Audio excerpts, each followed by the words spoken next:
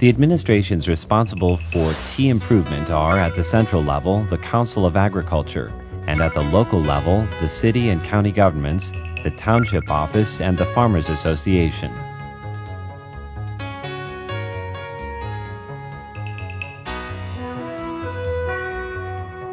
The Tea Research and Extension Station, or TRES, was set up especially for conducting experimental and extension work on tea breeding, cultivation, mechanization, management, manufacturing skills, and multiple products.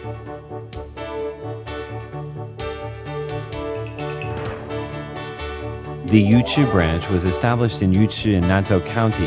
It develops production and markets medium and high altitude tea gardens and black tea in central Taiwan.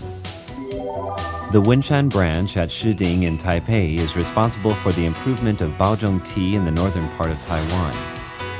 The Taidong branch at Luye in Taidong County is responsible for tea development in eastern Taiwan.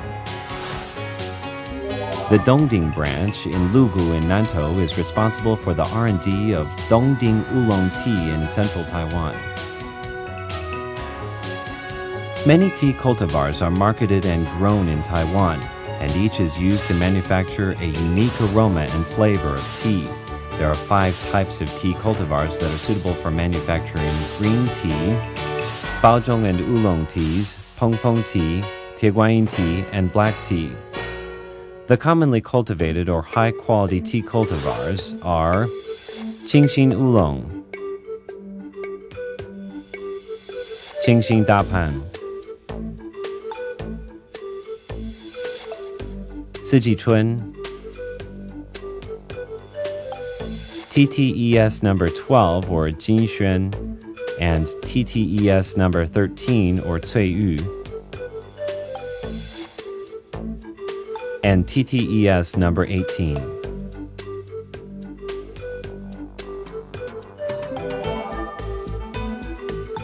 The TRES has also gauged and established a slopeland conservation demonstration tea farm, providing a place for teaching and demonstrating tea, soil, and water conservation.